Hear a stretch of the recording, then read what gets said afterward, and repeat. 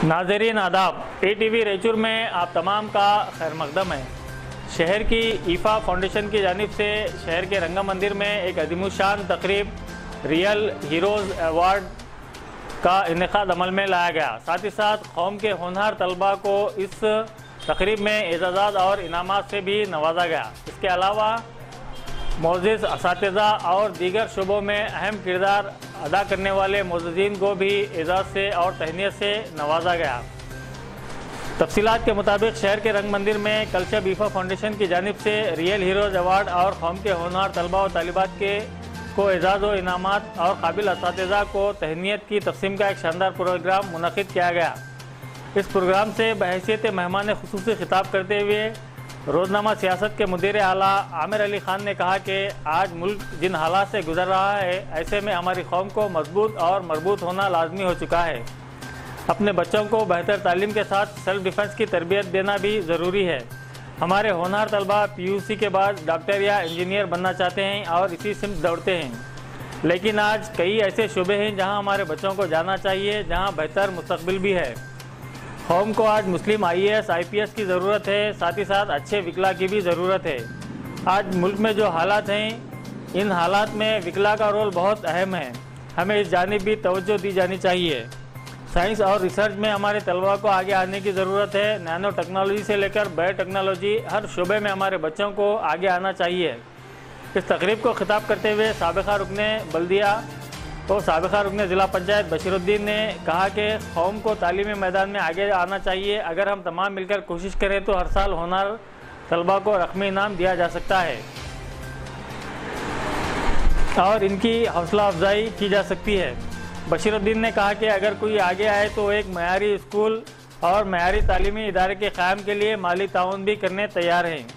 अफ्ताही कलेमात lecture Minazuddin ने अदा किए।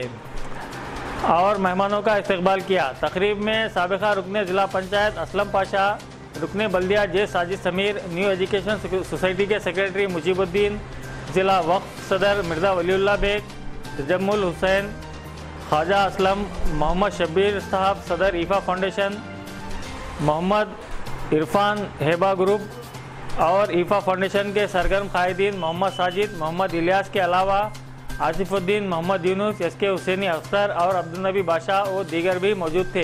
कि वो वाकई में आज आज तो यहाँ पे गुलाम मिला है, लेकिन जब वो बेंगलोर में जाके खाना तकसीम करते हैं, या हैदराबाद के अंदर मखसूसी हैं तो कभी ये सोचे नहीं थे कि वो खाना लेने वाला हिंदू है या मुसलमान वो बिला लिहाज मज़हब मिलत, सभी लोग आपके आबिद साहब हो या अच्छा बात अच्छा बात जो टीचर है तो उनके बारे में कुछ ज़्यादा नहीं कर सकता है लेकिन टीचर का जैसा अभी मेरे पेशो मुतलिक ने कहा है कि टीचर का बहुत बड़ा मुकाम होता है तो टीचर बिला लिहाज मतलब हर बच्चे को तालीम देती है। तो उसके साथ साथ जो साहब भी हैं, उन्होंने कभी ये नहीं देखा कि किसकी डिलीवरी हो रही, वो हिंदू है या मुसलमान है। लेकिन अफसोस की बात नाम अदा किया जो मैं दो साल कंटिन्यू करने के बाद, चंद लोग हमारे ही है, जो इसमें नुकता नहीं कर रहे थे तो मैं बोला चलो आप आइए, मैं रुक जाता हूँ। आप आइए, मैं रुक रहा हूँ। तो मैं रुका तो खत्म हुआ। तो एक अच्छे काम के लिए भी हमारे को बर्दाश्त नहीं करते। तो हम लोग तो साथ देना चाहिए। ऐसे फाउंडेशन जो आगे बढ़ के मुसलमानों के कला के काम के लिए आए। इनको हम तनकीद नहीं करना है तारीफ़ करना हिम्मत अफजाई करना है कि ये आगे बढ़े। इससे किसका फ़ायदा हो रहा मुसलमानों तनकीद करेंगे तो मुसलमानों का नुकसान है। और करने वाला है मुसलमान। मुसलमान हमें बेहतरीन से बेहतरीन बात हम हमारे सुनाए। लेकिन हमारे दिमागों में नहीं बैठे हमारे मैन दूसरी तरफ़ था। लेकिन इस पर अमल करेंगे। इंशाल्लाह इंशाल्लाह कौम की, दुनिया की, हमारे बच्चों की रिजर्वेशन की। इन तमाम पे हम गौर करें गौर फ़िक्र करें। हमको समझा ये बात हम जहन में रखने के काम करना है। हमको ये बात नहीं है हमारे मज़ेदार बात। चाहिए